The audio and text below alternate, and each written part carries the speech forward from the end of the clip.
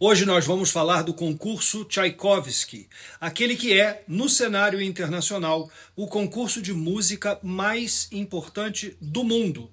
E digo mais importante, mais ainda que o concurso Chopin, sobre o qual falamos no último encontro, porque no concurso Tchaikovsky são contempladas outras categorias além do piano.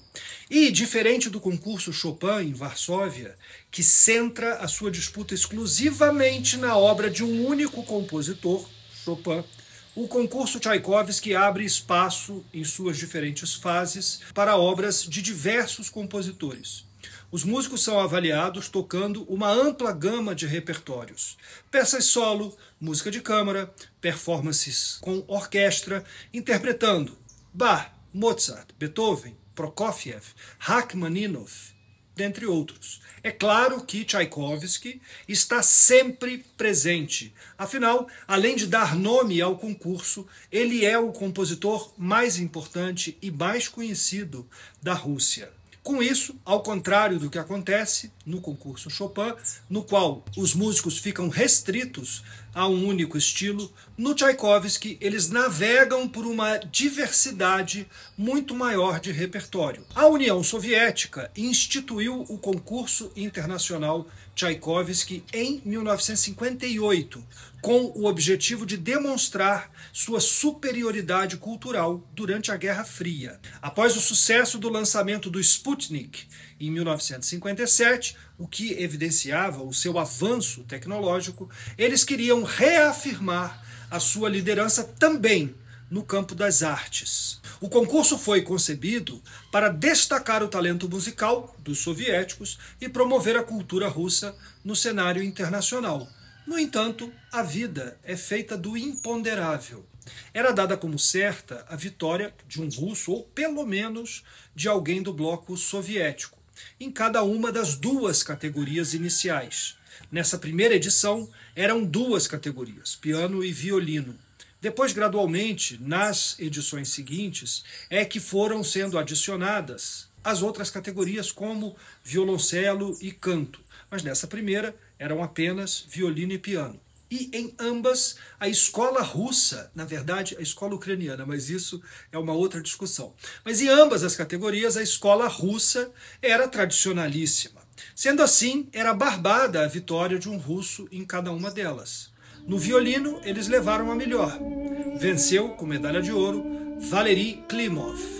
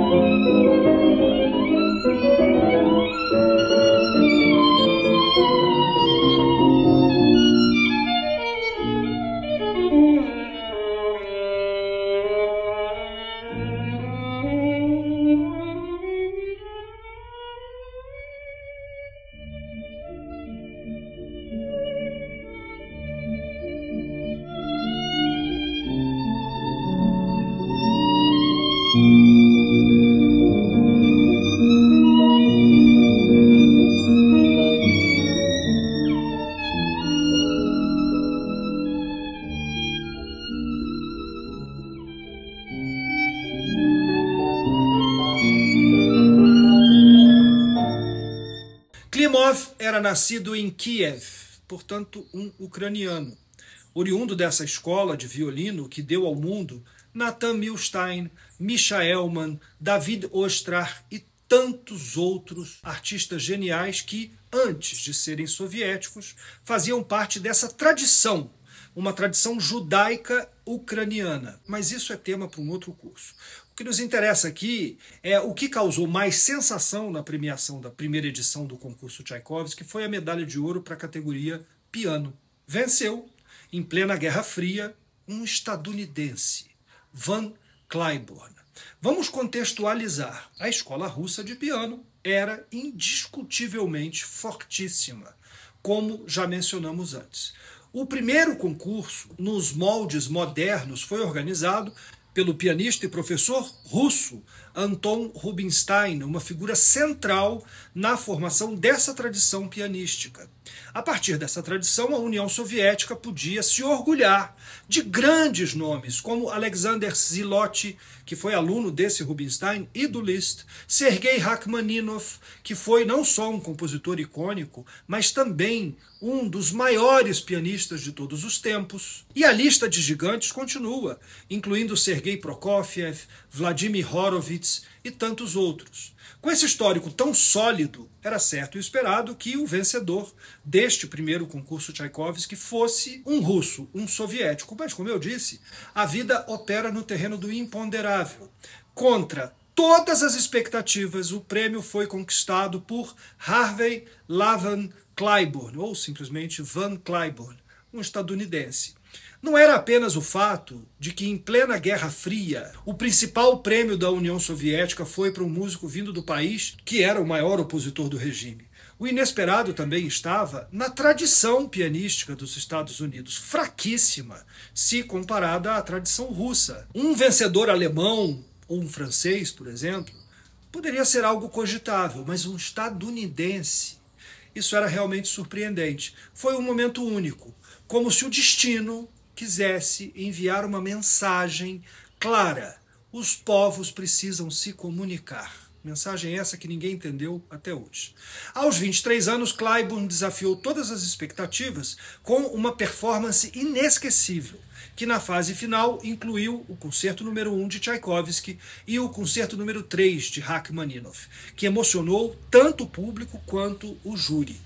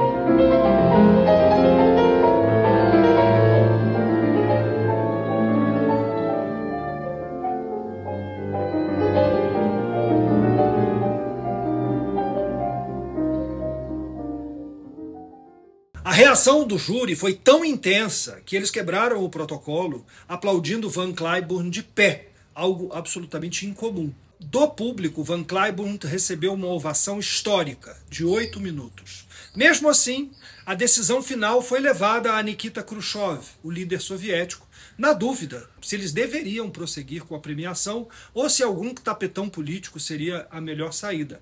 Foi quando Khrushchev disse a famosa frase: Ele foi o melhor, então deem a ele o prêmio. Ao retornar aos Estados Unidos, Clyburn foi recebido como um herói nacional, com uma parada em sua homenagem pelas ruas de Nova York, coisa que nunca mais se repetiu. Sua vitória inspirou a criação do concurso internacional de piano Van Cliburn em 1962, no Texas, concurso este que está aí até hoje.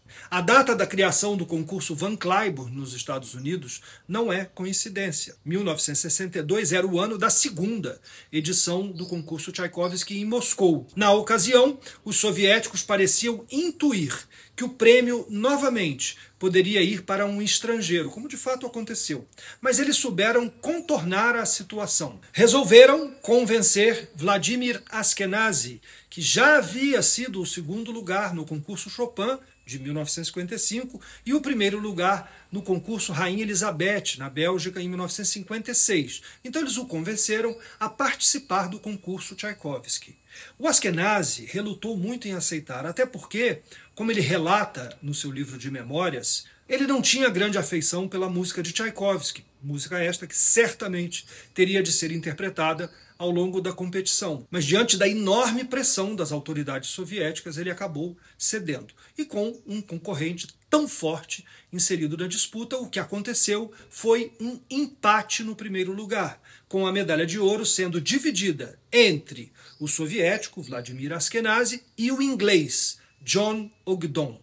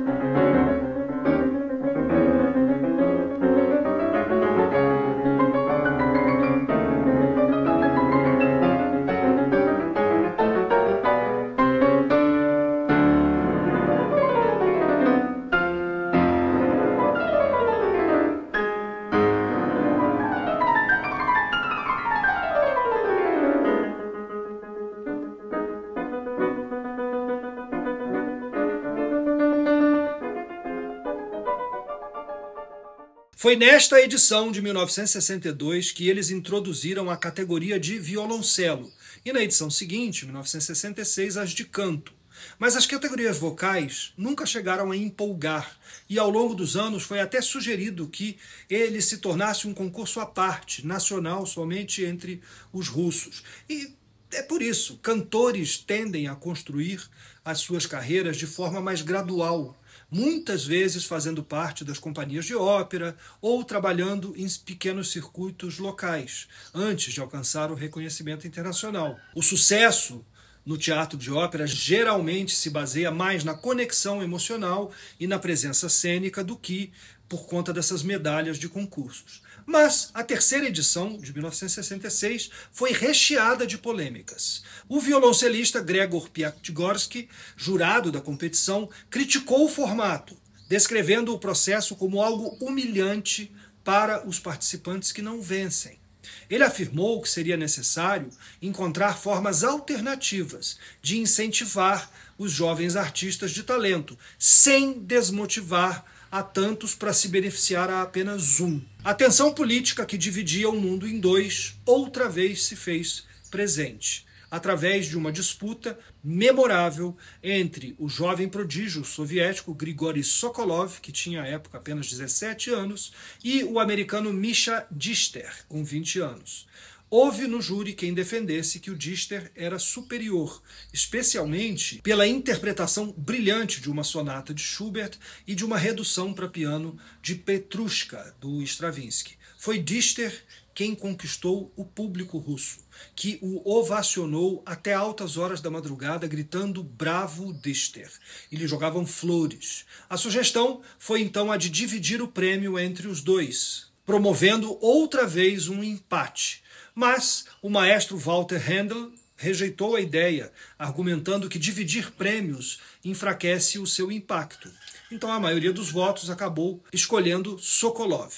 Quando o Askenazi venceu com empate o concurso Tchaikovsky em 1962, as relações culturais entre a União Soviética e o Ocidente estavam um pouco mais abertas. Ele conseguiu emigrar em 1963 após obter permissão das autoridades soviéticas, algo bastante raro na época. A decisão foi influenciada pelo fato de que ele já estava casado com uma pianista islandesa e com o apoio do governo da Islândia, Askenazi obteve a cidadania daquele país. Já em 1966, quando Sokolov venceu o mesmo concurso, o contexto político era menos flexível. A repressão cultural do governo Brezhnev era bem mais dura. Durante esse período, as autoridades soviéticas restringiram viagens, especialmente para jovens artistas, como o Sokolov, que poderiam usar aquela oportunidade para obter exílio no Ocidente.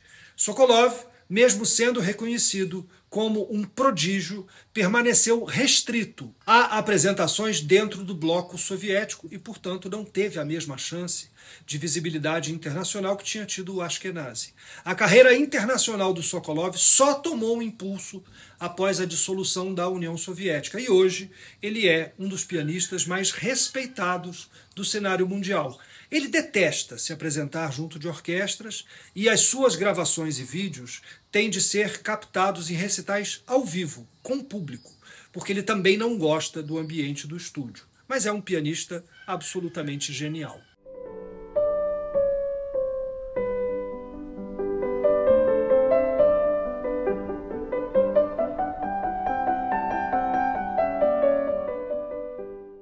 A nossa história está só no começo. No restante desse pequeno documentário a respeito do concurso Tchaikovsky, eu avanço até os tempos atuais, passando por inúmeras polêmicas, acusações de corrupção e favoritismo nas premiações, até o recente banimento do concurso Tchaikovsky da Federação Mundial por conta da invasão russa à Ucrânia, o que já comprometeu a edição de 2023 e coloca em risco a plena realização da próxima edição, que será no ano de 2027. Por questões relativas a direitos autorais dos vídeos utilizados, eu não posso publicar aqui no YouTube o documentário completo. Se você quiser assistir a ele na sua integralidade, é só ir até a minha página, guiadosclássicos.com.br. Lá estão listados todos os meus cursos. E uma parte desse conteúdo é gratuita, como as três análises que eu faço desses concursos internacionais. Além dessa análise do concurso Tchaikovsky, você vai encontrar uma análise do concurso Chopin, realizado em Varsóvia, e uma terceira análise mostrando os artistas brasileiros que competiram nesses concursos e tiveram as melhores colocações. Me faz uma visita lá, guia dos clássicos.com.br.